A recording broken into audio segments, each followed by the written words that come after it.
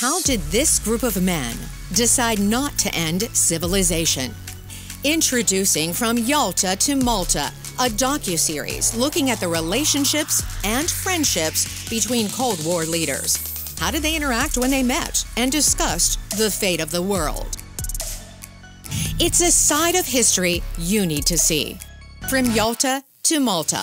Watch all five episodes now on VOA Plus.